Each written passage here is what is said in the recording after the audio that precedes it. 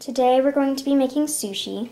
So first make sure that the lines on your sushi are going up and down and make sure that it's on the matte side, not the shiny side. See, that's the shiny side, this is the matte side.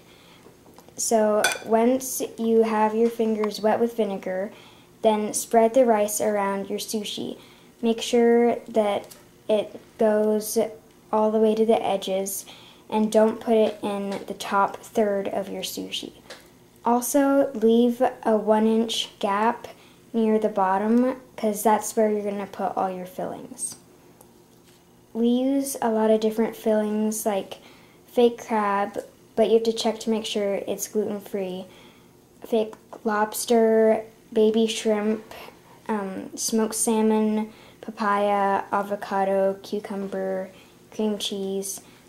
There's a lot of different options, and we don't even use all the ones that you could.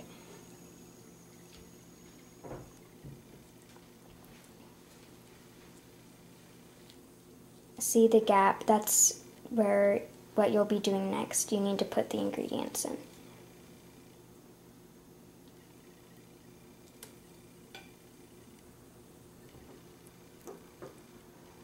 Now you're going to put your ingredients in. So fill the gap all the way along and make sure you get it at the edges too, right? All the way along to the very sides because you don't want to have spots where you don't have any sushi fillings.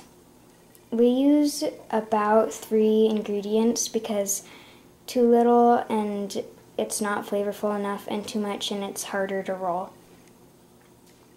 So when you roll it, scoot it all the way down to the bottom. And then you're going to put your thumbs on the back and roll forward. You pull back the mat too as you roll.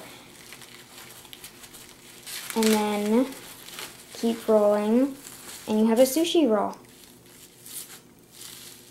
Yum.